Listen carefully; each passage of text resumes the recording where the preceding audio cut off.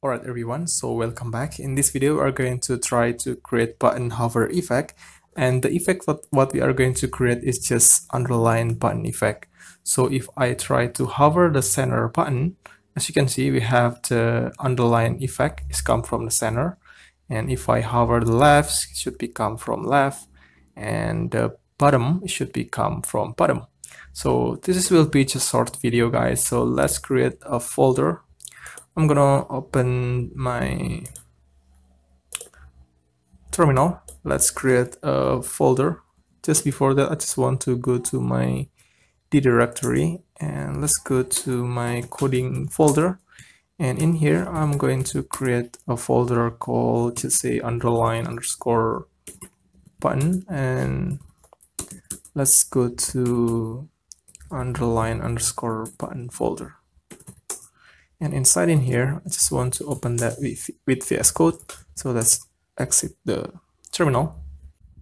Let's close the welcome page and I'm going to create index.html let's generate HTML boilerplate explanation tab. And let's change the title right here into underline button and just give a h1 just for example. Say hello world. Really? So now save and basically I, am using live server extension in VS Code. So I can click right and open with live server. Should be opening the localhost with port 5500 so now we get a hello world right there pretty awesome. So let's make side by side right here so we can see clearly. Like so. Okay here we go. Basically I'm not gonna create another file like uh, you know style.css because I just want to put everything in the index.html file right here. So in here, what I can do is I want to create div with the class container. And inside in here, I just want to create the three button we have. In here, say button.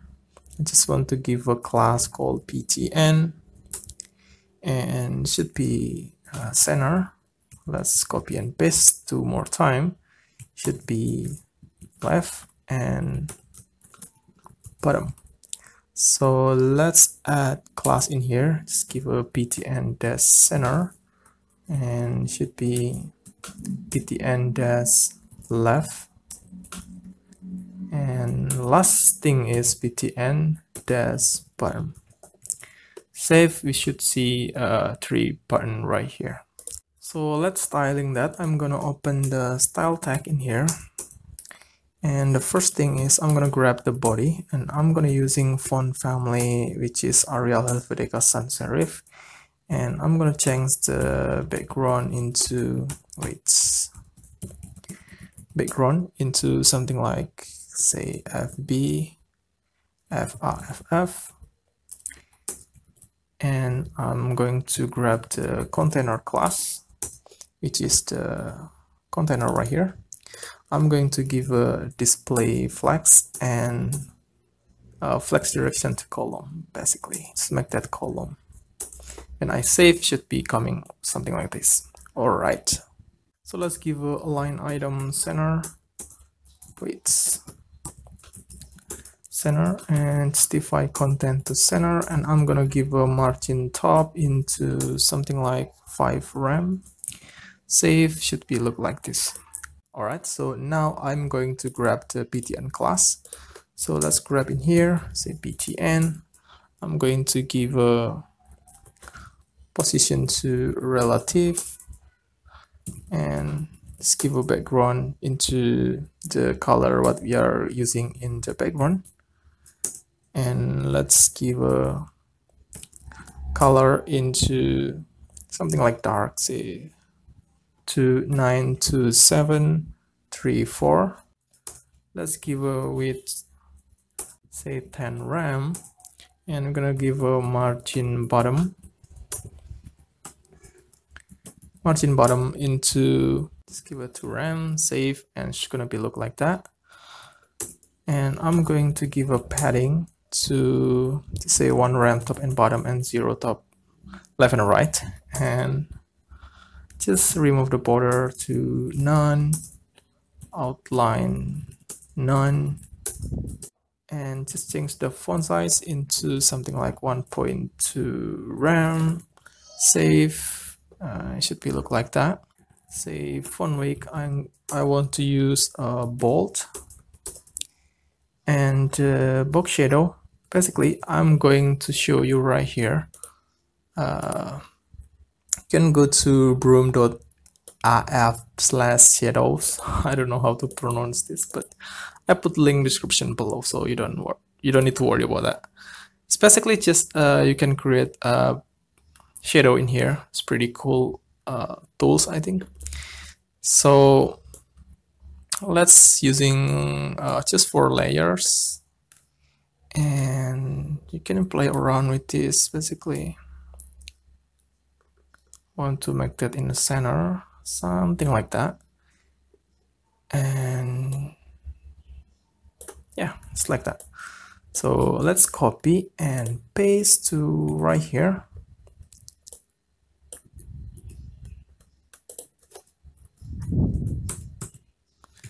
So now save we should have uh where is the right now we have the shadow. Pretty cool.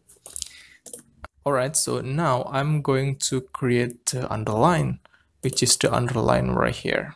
Okay. So let's try to create that. I'm gonna use pseudo element. So let's grab the btn and i'm gonna use after. I want to give a content to mt and position to absolute. Just make sure you put uh, position relative in the button right here.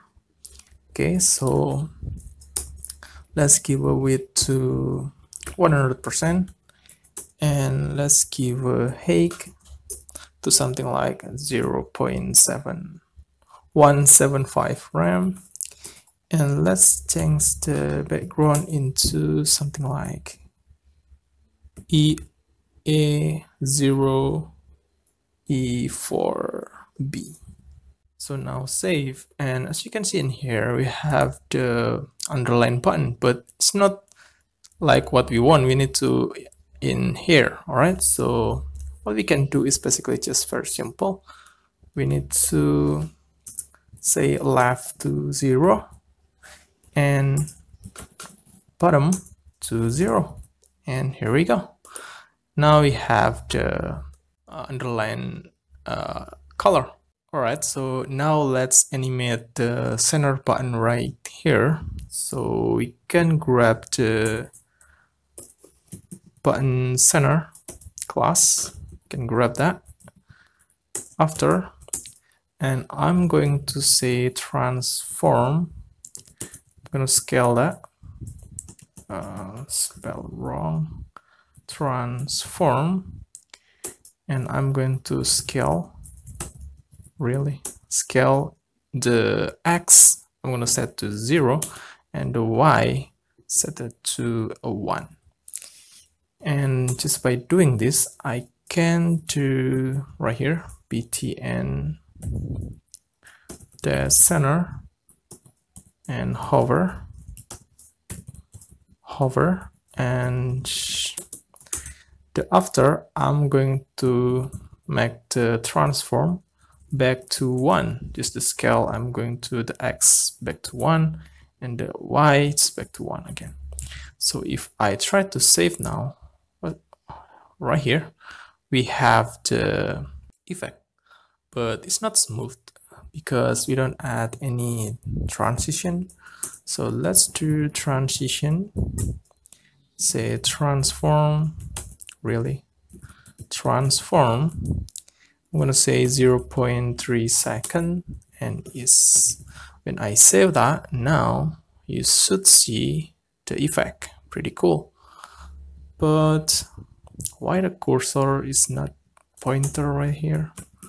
So cursor pointer now when we hover wait really?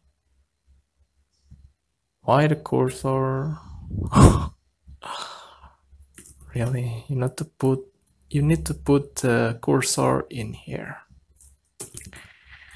Okay so now save we should have the cursor. Beautiful. So let's styling the left let's scroll it down. I'm gonna give a comment in here. Say comment. Just give animate. I cannot typing anymore animate center button. And let's do down here. Can do animate left button. So what we can do in here just maybe very similar. So we can just copy that. And paste right here and the center we should change that into left but in here I'm gonna grab the transform origin and I'm gonna set to 0% and then 100% what that mean about this? So let's go to the developer mozilla.org let's make bigger. As you can see in here this is the x-axis and this is the y-axis. So if I set it to 0 and the second I'm gonna change that into 100% as you can see it should be come from here. Okay so that's what we want basically in this underline button because in the left we want to start from here. Okay i hope that makes sense. So let's go back. That's why we set the transform origin the x to 0 which is the from here okay and uh, y which is 100% which is very bottom right here. Okay so now when we hover we have the underline effect come from the left side. Okay so now let's try to create the bottom. Wait this is the final project basically. Sorry about that. And here we go. It's come from the center. Wait what we get wrong in here? So let's try to reload and I'm going to hover the left button. Now we get the underline effect is come from the left. Pretty cool. So let's work with bottom right now. So let's go back to right here. Let's comment that out animate uh, bottom button. Okay. The first is let's grab the btn bottom after. And I'm going to set the transform into translate y and to say 3 pixel. Okay if I save should be uh, push the underline to the bottom. Alright so if I copy this and paste in here. And let's give a hover effect like so. And let's make back to zero. So now save. And if I hover it should be uh, come from bottom and back to the top. See? So let's give a transition in here. Transition. Say transform say 0.3 second and is so now save and let's try to hover that see the underline is gonna be come from bottom and back to the top the idea in here is when the underline the red underline in here in the bottom, we need to hide that. But when we hover, we need to showing that. The easy way to do that is just grab the btn bottom and I'm going to say overflow to hidden. Save and now that's gone. But when we hover, it's coming out. Pretty cool. Alright, so I think that's it for this video. I hope you learned something new. And I'm gonna see you in the next video and bye